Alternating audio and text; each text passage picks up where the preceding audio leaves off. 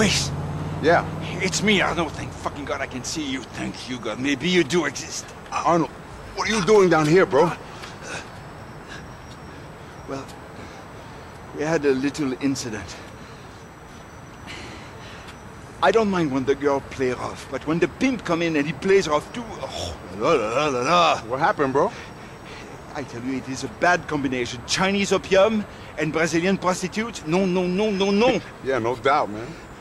I was just nodding off after a little bit of light after dinner bondage, and when the pimp comes in, he steals my wallet and gives me a good beating. For watching too much television? somehow, uh, somehow I feel my dignity is still intact. Wait a second. You're a guy who just enjoyed an opium-laden threesome with some light bondage. How could your dignity ever be in question? exactly, my friend. Uh, well, maybe you can help me uh, get back the wallet. Hey, compared to the shit I dealt with today, okay, that doesn't sound so shady. so why the fuck you not?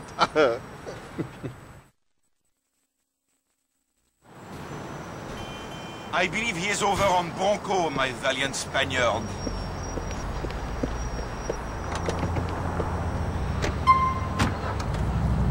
Please make a U-turn where safe.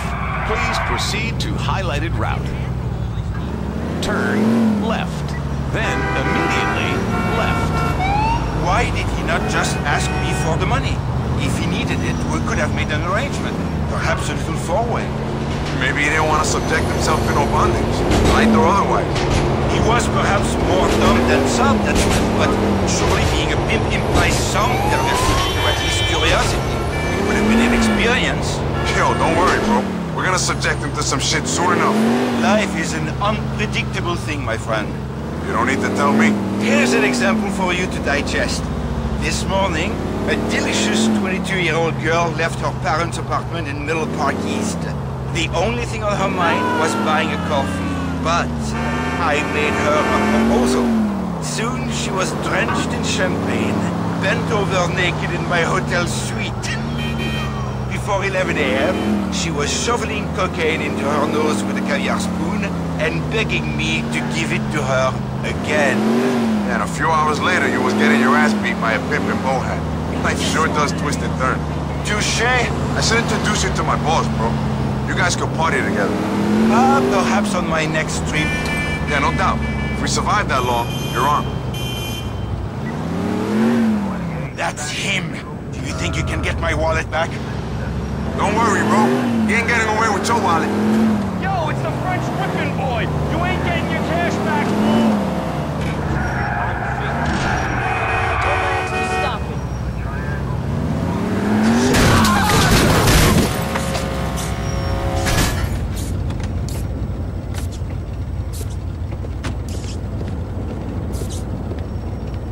Fuck you!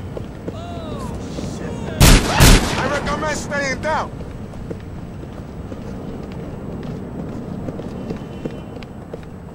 I'm gonna drop you around the corner, bro. It ain't safe here.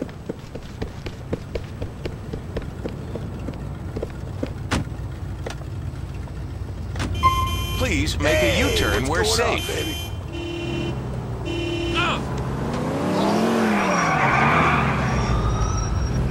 Here's your wallet, bro.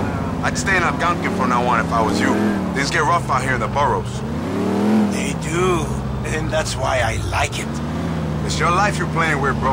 I just don't want to see you end up one of them deviant sex stories gone wrong. Like one of them guys who strangled themselves trying to get off. Civilian like you coming out to the point is almost as suicidal. That was cool. Oh, shit. You have arrived. Wow, what's Okay, that, bro. yo? This is where I'm leaving you. You still might get robbed around here, but they won't kill you. Adieu, dear boy. It's been fun.